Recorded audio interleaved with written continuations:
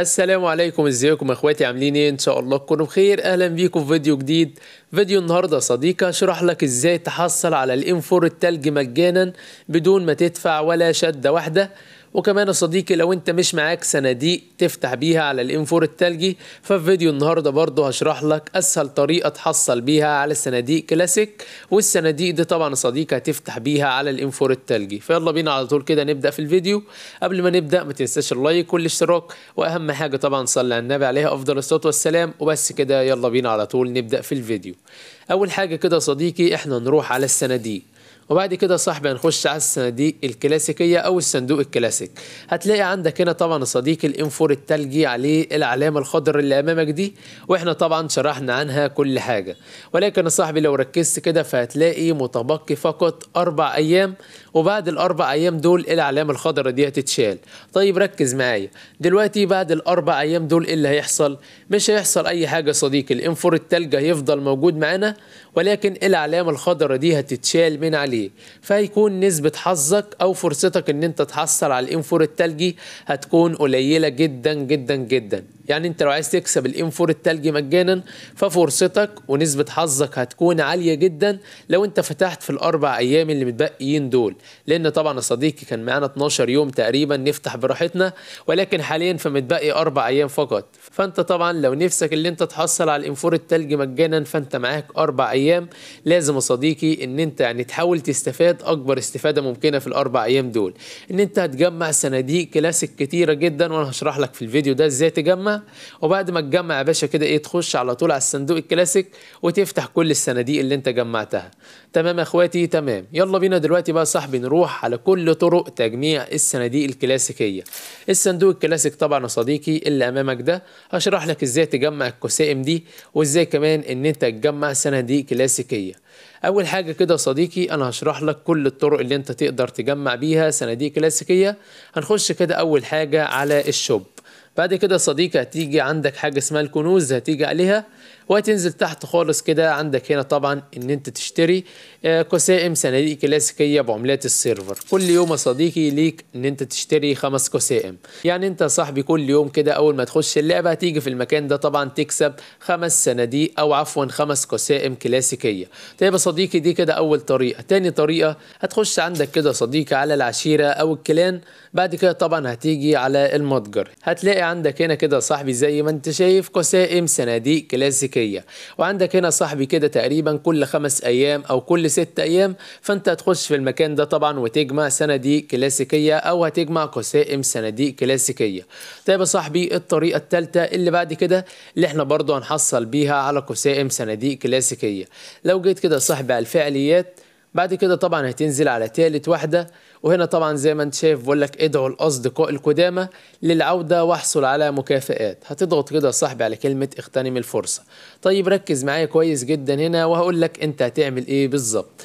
بص يا صديقي أول حاجة طبعا انت هنا بتدعو اصدقائك اللي هم سابوا اللعبة. يعني أصدقائك اللي هم كانوا أصدقاء عندك بعد كده قفلوا اللعبة المدة بتدعوهم عادي خالص. طيب يا صاحبي بعد ما تدعوهم أول ما تدعو أربعة من أصدقائك دول فأنت تحصل كده على صندوق كلاسيك. يعني أنت خلاص كده دعيت أربعة من أصدقائك هتحصل يا صديقي على صندوق كلاسيك. هتاخد صندوق كده عادي خالص. وبعد كده يا صديقي عندك هنا شوية مهام. لما صاحبك اللي انت دعيته للعبة يعني صاحبك اللي كان بيلعب معاك وساب اللعبة كده شوية لما انت صاحبي رجعته هو لو عمل شوية مهام فانت هتكسب العملات اللي أمامك دي. لو مثلا كده آه لعب مباراة كلاسيكية فانت هتاخد أربع عملات. لو مثلا صديقي آه لعب مباراة كلاسيكية وخد مركز من أفضل عشرة انت برضه هتاخد عملات. يعني أي حاجة من المهام اللي أمامك دي. لو صديقك عملها فانت هتكسب عملات. طيب العملات دي انت بتعمل بيها إيه؟ لو رجعنا كده يا صاحبي عندك هنا استرداد المكافأة. العملات دي يا صاحبي زي ما انت شايف بتقدر ان انت تشتري بيها قسائم صناديق كلاسيكية. عندك هنا طبعا القسيمة بعملتين. يعني انت يعني لو عايز كده تسترد لك مثلا خمس قسائم ب 10 عملات. لو عايز تسترد 10 قسائم يعني صندوق لازم يكون معاك 20 عملة. أنا طبعا يا صديقي زي ما انت شايف معايا 93 عملة فأقدر هنا طبعا إن أنا أشتري شوية قسائم فممكن يا صديقي إن أنا كده أفضل أشتري شوية قسائم يعني أنا كان معايا 93 عملة. حاليا زي ما انت شايف يعني اشتريت كده مثلا أربع قسائم واتبقى معايا 85 عملة. فطبعا يا صديقي أنت من المكان ده برضو تقدر إن أنت تحصل على يعني قسائم قسائم صناديق كلاسيكية بطريقة كويسة جدا برضه يا صديقي. الطريقة اللي بعد كده يا صديقي اللي انت برضه تحصل بيها على قسائم صناديق كلاسيكية تقريبا دي الطريقة رقم أربعة أو رقم خمسة. أنا مش فاكر لأن يعني ما عدتش. لو انت فاكر اكتب لي دلوقتي كده في التعليقات دي الطريقة رقم أربعة ولا رقم خمسة. المهم يا صديقي هتخش عندك على ال RP. طبعا يا صديقي من ال RP انت هتقدر إن انت تحصل برضه على قسائم صناديق كلاسيكية لو انت شاحن أو حتى انت مش شاحن. يعني لو انت شاحن كده في RP 4 تحصل على قسائم لو انت مش شاحن في RP 8 تحصل على أربع قسائم زي ما انت شايف كده ده في RP 8 وبرضه بقى صديق هتبدا إن انت تاخد قسائم هتاخد قسيمتين لو انت شاحن ولو انت مش شاحن كمان في RP 18 هتاخد أربع قسائم وبعد كده في RP 29 أربع قسائم ده طبعا لو انت مش شاحن هتاخد في RP 39 ست قسائم وبعد كده صديق عندك في RP 49 هتاخد 8 قسائم يعني انت برضو من ال RP لو انت حتى مش شاحن فانت هتاخد قسائم صناديق كلاسيكية يعني حرفيا يا صديقي كتيرة جدا من ال RP بس. وعندك بعد كده صديقي الطريقة اللي بعد كده اللي تقدر برضو تحصل منها على قسائم صناديق كلاسيكية وهي طبعا يا صديقي من الفعاليات هنخش كده صديقي على الفعاليات بعد كده هتلاقي عندك هنا فعاليه زي ما انت شايف عرض الألعاب النارية للسنة الجديدة. عندك هنا صاحبي خلال الفعاليه اشعل الألعاب النارية على مسرح الألعاب النارية في ليفيك أو إيرانجل للحصول على مكافئات هشرح لك دلوقتي أنت هتعمل إيه. هنا طبعا أول ما تشعل مرة واحدة فأنت هتكسب يا صديقي زي ما أنت شايف شعبية طبعا. وبعد كده أول ما تعمل خمس مرات فأنت صديق هتكسب صندوق كلاسيك. وبعد كده أول ما تشعل الالعاب النارية دي 10 مرات فأنت هتكسب الإطار الجديد لسنة 2023 اللي أمامك ده. طيب يا صديقي إزاي أنت هتلعب الألعاب النارية دي؟ أو إزاي هتشعل الالعاب النارية؟ أنت طبعا أول حاجة تخش على الفعاليات بعد كده هتيجي على تالت واحدة وهنا طبعا مكافأة تسجيل الدخول 23 من الألعاب النارية. هتضغط كده صاحبي على كلمة جمع وهتجمعهم عادي خالص. بعد كده صديقي هتجيب مثلا game إيرانجل أو ليفيك بال mode الجديد وهتبدأ عادي خالص. طيب يا صديقي وبعد ما بدأت ال game زي كده فأنت هتيجي يا صاحبي عندك كده هتلاقي عندك هنا ألعاب نارية زي ما أنت شايف. عندك هنا كده صديق زي ما أنت شايف بتشعل بقى الألعاب النارية كده.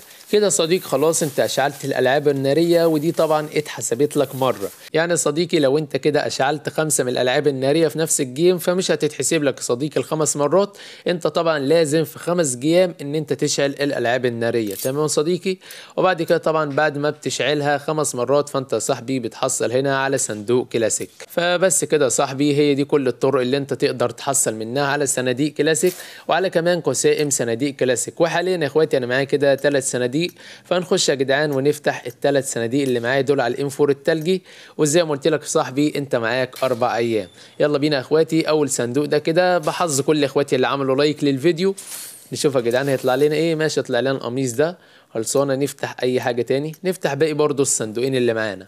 والصندوق ده كده نسيبه مش هنعمل تخطي يا جدعان. لأن أصلا هم ثلاث صناديق بس فيلا بينا نشوف هيطلع لنا إيه. يلا بينا على طول بقى كده يا إخواتي على آخر صندوق وإن شاء الله يا جدعان يطلع لنا ال M4 التلج في الصندوق ده. يعني نسبة الحظ عالية جدا على ال M4 التلجي ولكن أصلا هو معايا. فصعب شوية إنه يطلع لي مرة تانية. المهم يا صديقي أنت طبعا عندك أربع أيام. فتحاول إن أنت تفتح على الإنفور التلج قبل الأربع أيام دول لأن طبعا يا صاحبي عندك نسبة الحظ في الأربع أيام الباقيين دول هتكون عالية جدا عن الإنفور التلجي فبس كده يا صديقي ده فيديو النهاردة. أتمنى يكون الفيديو عجبك وتكون استفدت من الفيديو. لو الفيديو عجبك بقى ما تنساش إن أنت تحط لايك للفيديو وتشترك في القناة. وأشوفك في فيديو جديد. وسلام.